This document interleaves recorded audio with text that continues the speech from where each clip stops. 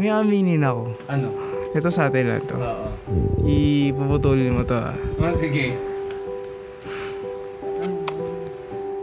Hmm. Di ba, paano ko masisimulan? Hindi, seryoso to, seryoso. Oh. Ah, hindi ko alam kung matutuwa ako, ano, pero masaya naman ako. Hindi naman namin to pinagsisisihan. Nakuha mo ba yung point ko? Hindi. Um, siguro mga 8 weeks na. Na siyang Ah, talaga? seryoso man. Parang nagulat. nagulat ka ba? I mean, Not ready for this shit. pero ayun.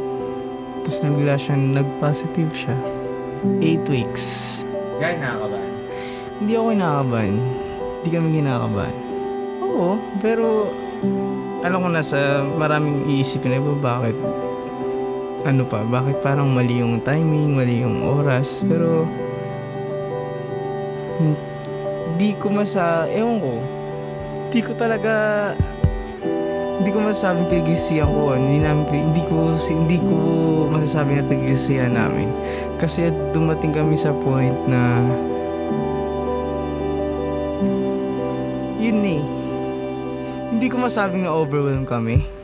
Kasi kung ma-overwhelm yan, pagdating afternoon, mayroong takot eh. Pero at the same time, wala, wala kami naramdaman takot.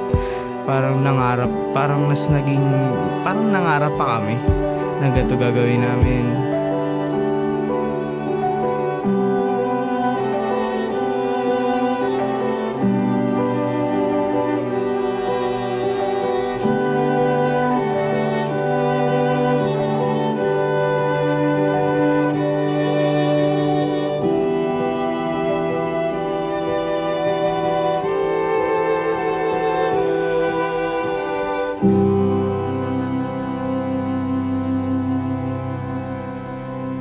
Just as how we got your dad's back all throughout our friendship, and especially during the time your mom is giving birth to you.